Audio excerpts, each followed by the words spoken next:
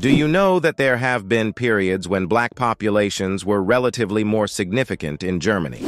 For example, during the era of German colonialism in Africa, there were interactions between Germans and Africans, leading to some individuals of African descent residing in Germany. Additionally, in recent years, Germany has experienced an increase in immigration from African countries, contributing to the presence of black communities in the country. Follow us as we delve into the erasure of black population in Germany. If this your first time to our YouTube channel, welcome to Histrends. Don't forget to like and subscribe. Recently, the press secretary of a prominent political figure made controversial remarks, drawing comparisons between the chemical attacks of Syrian leader President Bashar al-Assad and the actions of Adolf Hitler, the leader of Nazi Germany.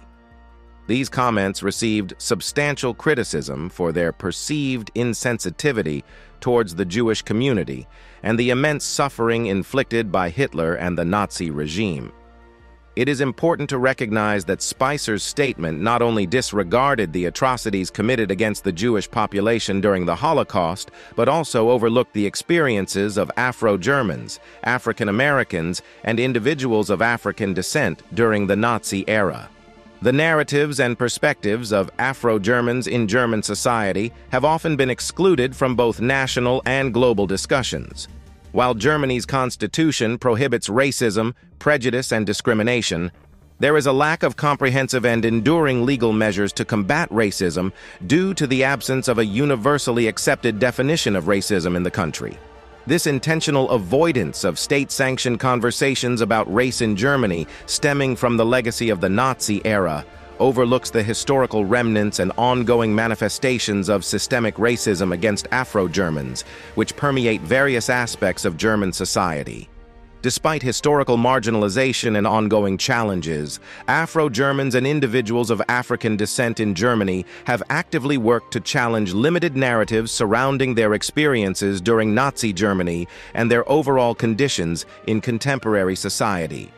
Various organizations, such as the Black German Cultural Society, the Initiative Schwarze Menschen in Deutschland, Initiative of Black People in Germany, the Black German Heritage Research Association, and ADEFRA, a black women's advocacy organization, have provided platforms for Afro-Germans to assert their agency and share their stories. Afro-Germans have also been vocal in discussing their history and experiences. For instance, Afro-German author Theodore Michael, in his article I Hated Human Zoos, Afro-German author on growing up black in Nazi Germany, recounted his upbringing under Hitler's regime. Michael, now 92 years old, shared his disturbing experiences of being forced to participate in human zoos, where spectators would touch his hair and skin. Living in constant fear for his life, particularly during the Nazi era, Michael expressed that, with a face like mine, you can't hide, but I've tried. In her memoir, My Grandfather Would Have Shot Me, a black woman discovers her family's Nazi past, Jennifer Teege, an Afro-German woman, unintentionally unraveled her family's Nazi history. Through a chance selection of a book from the library, Teege learned that her grandfather was Amon Goeth, a Nazi commander infamous as the Butcher of Płaszów.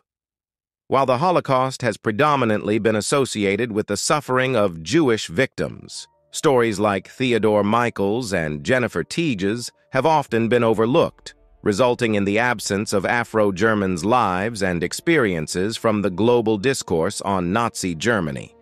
However, Clarence Lusane's book, Hitler's Black Victims, The Historical Experiences of European Blacks, Africans, and African Americans During the Nazi Era, challenges the prevailing one-sided narrative by shedding light on the violence and racial policies inflicted upon Afro-Germans and individuals of African descent.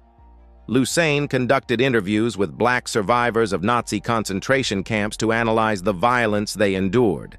In an article titled Making the Black Experience Heard in Germany, authors Jamie Schearer and Hadija Haruna illustrate how during World War II, thousands of African-American GIs were stationed in Germany and formed relationships with German women, resulting in the birth of biracial or multiracial children. German professor Maria Höhn further discussed the presence of black children, known as occupation children, or Rhineland bastards, born to African-American GIs and white women in Germany. The existence of these children generated animosity among many Euro-Germans.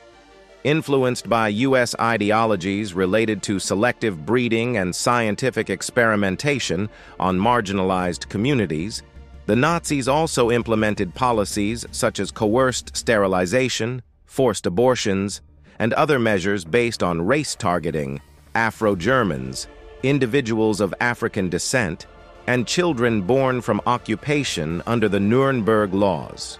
Although the original Nuremberg Laws of 1933 did not explicitly include people of African descent, they later expanded to encompass them due to the Nazi regime's perception of the Afro-German community as a source of opposition, strangely associated with Jews in Hitler's mind. Numerous individuals of African descent, including Hilarius Gilges, Valaida Snow, Jean-Marcel Nicolas, Lieutenant Darwin Nichols, Gert Schramm, and Mahjoub bin Adam Mohammed, experienced persecution during the Nazi era.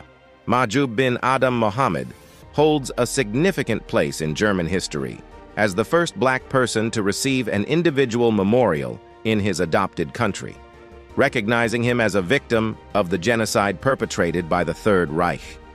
Not only did Afro-Germans and individuals of African descent face persecution within Germany, but they also experienced oppression on the African continent. In a 2016 article titled Germany Grapples with Its African Genocide. By Norimitsu Onishi, published in the New York Times, it was highlighted that during Germany's colonial rule in Namibia, forced sterilization was employed in an attempt to eradicate two ethnic groups, namely the Herero and Nama. Onishi pointed out that while the events in Namibia between 1904 and 1908 foreshadowed Nazi ideology and the Holocaust, the genocide committed in this former colony remains relatively unknown in Germany, the rest of Africa, and even to some extent in Namibia itself. Despite Germany's efforts to confront its racist, discriminatory, and xenophobic history, it still perpetuates advanced marginalization against black Germans due to a flawed political framework that fails to adequately address and prohibit what Philomena Essed refers to as everyday racisms. This deliberate neglect contributes to the persistence of racial indifference, silence, Afrophobia, and cultural homogeneity, which uphold the perception of European societies solely as phenotypically and culturally white. Moreover, the lack of cultural representation and imagery of Afro-Germans further reinforces their marginalization within media, academia, and socio-political contexts, as stereotypical depictions such as blackface continue to exist, and hate crimes against Afro-Germans and individuals of African descent remain pervasive.